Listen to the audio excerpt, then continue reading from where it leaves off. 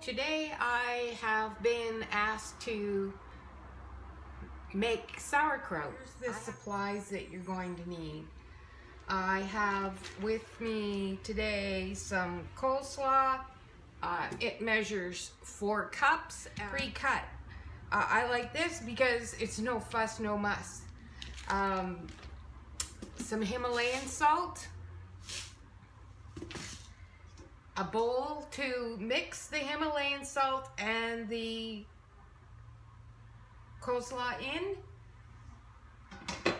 a container that I'm going to put my coleslaw in after I've prepped it and created a brine.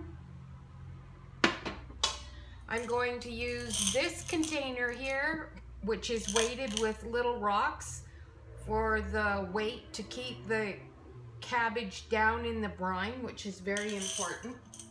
And there's a couple of different ways to fix the top so that the bugs don't get into the brine. There's cheesecloth or a coffee filter works. You'll need an elastic band. And oh yeah, a pair of gloves. If you're using colored cabbage, like I am, you're going to want a pair of gloves because that red cabbage is going to leach its red into my hands. So here we go. Into a bowl, the coleslaw, and I might add this coleslaw what is um, a little outdated. It's actually perfect for making uh, the brine. So seeing as I only have four cups of cabbage, I'm going to use a half a teaspoon of Himalayan salt.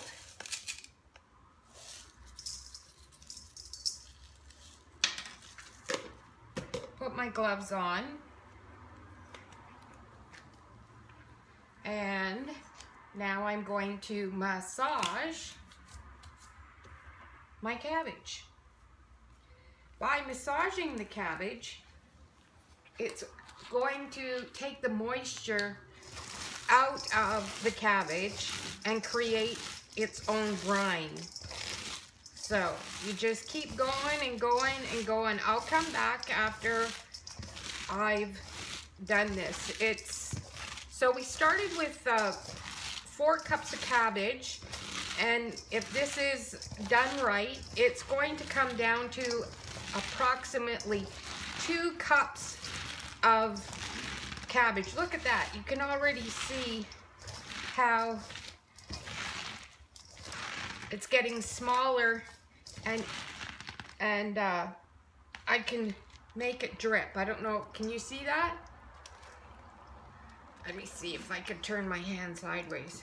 Look at that. That's that's the salt pulling out and creating the brine. I don't know if you can see it, but there's an awful lot of fluid in there and that's from just massaging the cabbage with the Himalayan salt and the the natural juices come out of the cabbage.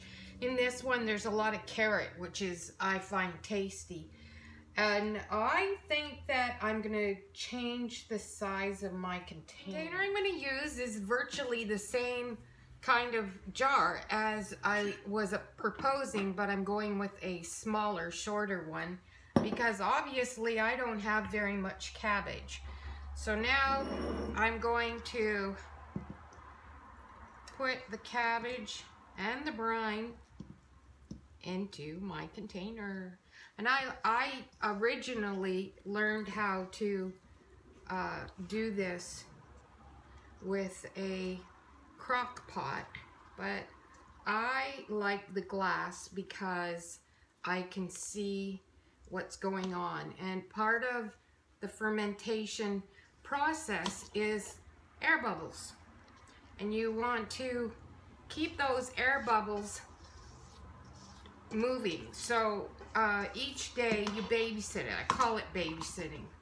I babysit my my sauerkraut. So now I'm going to take my container of weight and I'm going to push down so that the brine is above the cabbage. That is a key point. The brine must be above the cabbage at all times. And at this point, I'm gonna do a slow push to get the all the air out of the cabbage. And then I'm going to take my coffee filter and my elastic band and I'm going to place this jar in a warm spot. Tomorrow I will check it.